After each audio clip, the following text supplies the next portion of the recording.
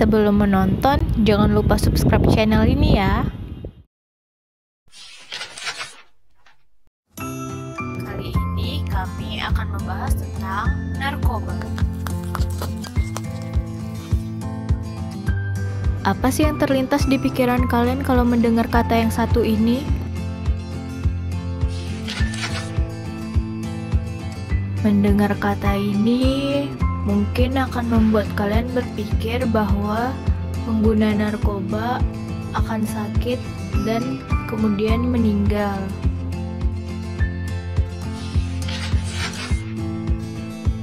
Bisa jadi sebagian lagi berpikir bahwa pengguna narkoba sewaktu-waktu akan ditangkap polisi dan masuk penjara.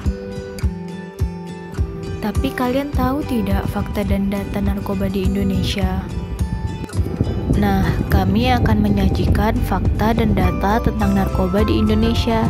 Disimak baik-baik ya.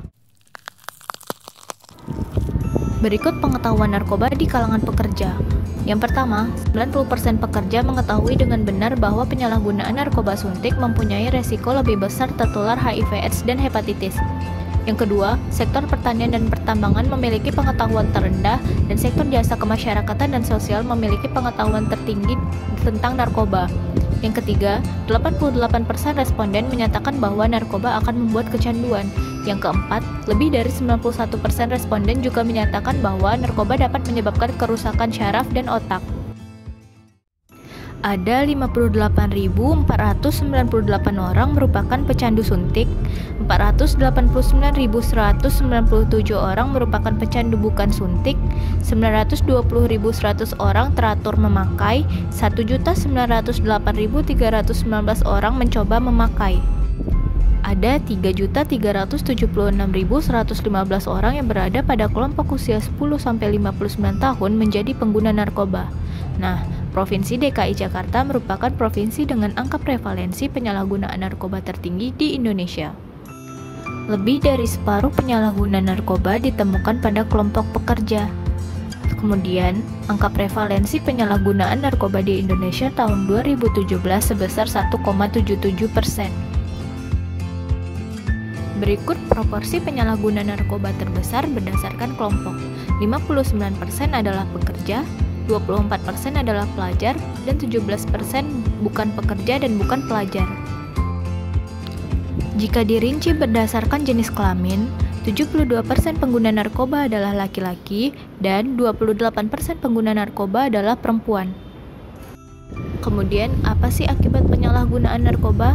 Badan Narkotika Nasional menyatakan 46% kekurangan selera makan, 30% merasa sesak di dada, 23% merasa sakit pada ulu hati, 31% merasa lelah berkepanjangan, 34% merasa mual berlebihan.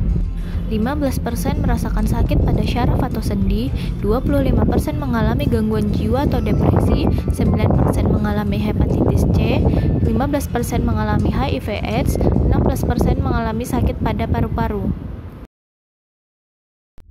29% mengalami kecelakaan lalu lintas akibat pengaruh narkoba, 25% responden mengaku pernah melakukan tindak kriminalitas, dan hampir semua responden mengaku pernah menjual narkoba lebih dari separuh responden pernah dipenjara.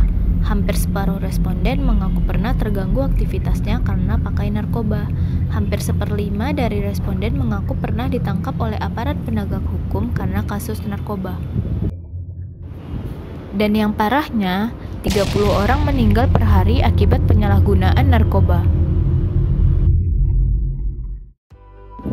Mengadakan sosialisasi, melakukan rehabilitasi, dan hukum pidana merupakan langkah-langkah pencegahan yang masih dilakukan sampai saat ini. Nah, sekian fakta dan data yang dapat kami sajikan. Terima kasih sudah menonton. Jangan lupa jauhi narkoba ya.